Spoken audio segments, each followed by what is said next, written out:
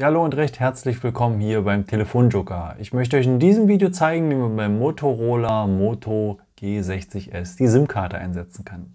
Okay, dafür brauchen wir neben dem Telefon den sogenannten PIN und den finden wir in der Box. Da gibt es nämlich noch eine zweite Box und zwar dieses Pappteil hier, was unter dem Telefon war. Und da drin befinden sich einige Anleitungen und mit Mann haben wir hier diesen Pin in dem Kärtchen.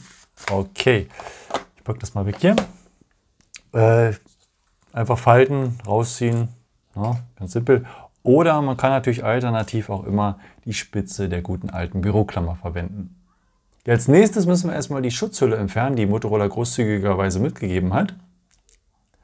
So, am besten hier über die Ecken wegziehen. Machen wir nachher natürlich wieder drauf.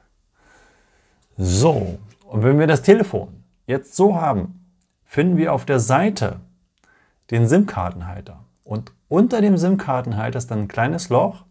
Und jetzt kommt die Spitze des Pins oder der Büroklammer ins Spiel. Die müssen wir nämlich da reinstecken, in dieses kleine Loch, ein bisschen drücken und der SIM-Kartenhalter kommt zum Vorschein. Bei diesem SIM-Kartenhalter kann man neben der SIM-Karte auch eine zweite SIM-Karte einlegen, beziehungsweise eine Micro-SD-Karte.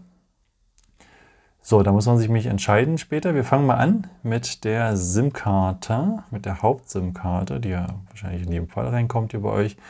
So, fehlende Ecke auf fehlende Ecke. Ja, man kann die SIM-Karte auch hier nicht anders einlegen. Würde ich hier fehlende Ecke auf fehlende Ecke. Und die Kontakte der SIM-Karte sind ganz unten. Okay.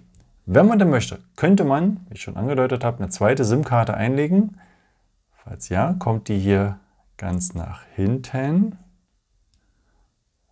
So, hier dann auch fehlende Ecke auf fehlende Ecke.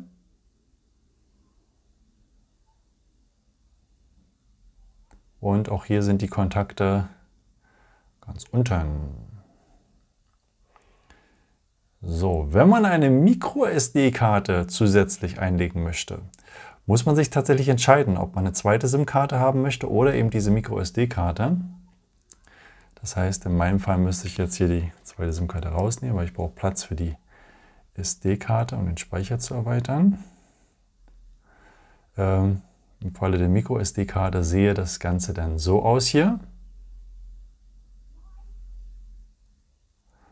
Und die Kontakte sind auch hier ganz unten. Okay. Dann, wenn ihr fertig seid, schiebt ihr euer Konstrukt hier einfach zurück ins Telefon. Schön zumachen. So ganz zu kriegt man das übrigens nicht. Also bei mir steht das hier immer ein bisschen über. Also da nicht wundern, funktioniert aber trotzdem alles wunderbar. Und das war's auch schon. Ja, und als letzten Schritt würde ich euch empfehlen, das Telefon natürlich wieder in die Schutzhülle zu packen. Dafür einfach das mit der einen Seite komplett schon mal reinlegen ja, und dann einfach mit der anderen Seite einfach nur reindrücken und dann ist es komplett geschützt. Äh, vielen, vielen Dank. Ich hoffe, ich konnte euch mit dem Video die Frage beantworten. Und äh, ja, wenn ihr möchtet, ihr könnt mir gerne einen netten Kommentar hinterlassen oder auch gerne einen Daumen nach oben. Vielen, vielen Dank. Das ist eine große Unterstützung für meine Videos. Vielen Dank. Und äh, ja, ich habe noch ein paar andere Videos vorbereitet, wenn ihr da auch nochmal schauen möchtet. Oder ihr könnt mich auch gerne abonnieren. Äh, vielen, vielen Dank für euren Support und äh, ja, vielleicht bis zum nächsten Mal. Ciao!